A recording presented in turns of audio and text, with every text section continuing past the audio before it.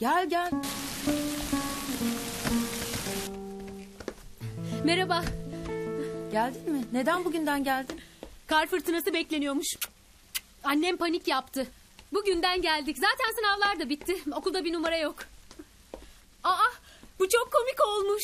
Karnın ne kadar büyüdü yenge inanamıyorum. Nasıl taşıyorsun? Bavul gibi. Ee, sekiz aylık oldu. Salih de geldi mi? Geldi. Tek kelime etmeden üç saattir yoldayız. Ne oldu? Salih Bey'in bir kız arkadaşı var. Üçüncü sınıftan hem de. İki laf ettik diye bana küstü. Yaşlı kadınlara takılıyor ha? İğrenç bir kız. Ukalanın önde gideni. Ne var?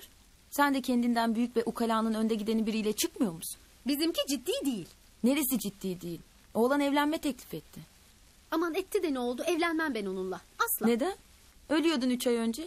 Biraz şey o. Kültürsüz falan yani. Hiç okumuyor. Bir tiyatroya bir filme falan gidelim diyorum. Bin bir bahaneyle vazgeçiyor. Bütün istediği malak gibi bir barda içelim pinekleyelim. Senin kültürüne ayak uyduramaz tabii. Geliyorum. Annem geldi. Biraz önce yoktu ben gideyim. Kulağıma gelmiyor değil. Bu işe son defa söylüyorum bir son vereceksin. Tekrar tekrar aynı şeyleri konuşmayalım. Senin aklını derslerine vermen lazım. Bak abilerin de işkilleniyor. Bir yere kadar zapt edebilirim. Ona göre. Tamam anne. Sadece bir kere oturup kahve içtik. Arkadaşlar da vardı. Bir şey yok. Hadi benim gitmem lazım. İyi misin kızım?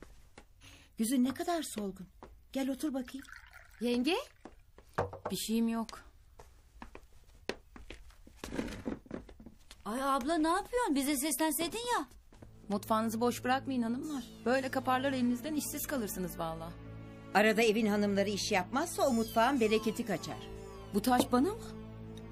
Ay çekilin bir mantı açayım şöyle. Hadi oradan. Sen daha mantının içini hazırlamayı bile bilmezsin. E ben de şöyle minicik minicik kapatılmış nefis bir mantı resmi yaparım şuraya asarız.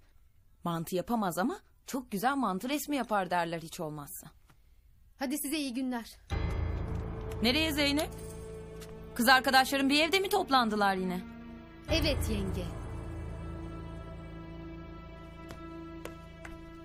Ay abla baklavalar geldi alın şunu. Alın alın. Şerbeti kaynadı mı? Döküverin hemen. Aa Ayşe Meleğin baklavası geldi. Ay neden Ayşe Meleğin baklavası oluyormuş canım? Çocuklar geldi diye yapıldı. E seviyor diye on günde bir yapılıp inşaata yollanıyor ya. Ben Seymen seviyor. İşçilere de arada ikram yapılsın diye yolluyorum. Zeymen de seviyor Ayşe Melek de seviyor. Söylediler ya ikisi bir oturuşta yarım tepsiyi yemişler geçen gün. İyi. Afiyet olsun. Yesinler. Sen de biraz yesen iyi olur. Çocuk çöp gibi doğacak. Ben Seymen'e hamileyken kapılardan sığmazdım. E bu kız olacak abla. Ne yapacağız şişko kızı? Çıtı pıtı olsun anası gibi. Ne olacak Asya? Seyhan ağam bir şeyler atıştıram dedi.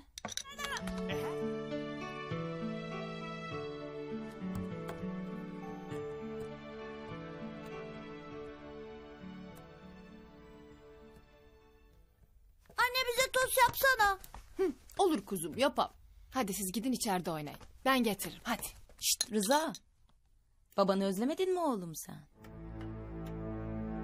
Yanına niye hiç gitmiyorsun? Götürmüyor mu annen seni? Dışarı ses hadi. Dışarı dedim. Dışarı. Gelin abla. Oğlanın aklına böyle şeyler sokma. Ben Haydar'dan boşanacağım. Ne zaman Dicle? Üç aydır bu şarkıyı dinliyoruz. Aman saçma sapan konuşmayın. Boşanma lafını bir daha duymayacağım Dicle. Haydar birkaç güne kadar eve dönecek zaten. Bu kadar sene nasıl idare ettiyseniz yine edersiniz. O kiralık katille aynı evde çocuk büyütecek değilim. Toplasınlar pıllarını pırtılarını nerede yaşayacaklarsa yaşasınlar. Benim çocuğumun bulunduğu eve o adam girmeyecek.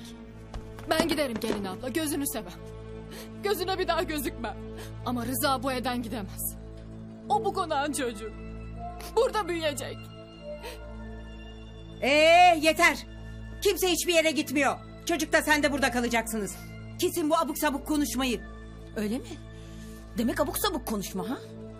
Bu işi Seymen'le halledeceğiz demek. Ne oluyor bu kıza böyle son günlerde? Her gün bir tatsızlık çıkarır oldu. Gebelikten abla doğurunca geçer. Üstüne varmayalım.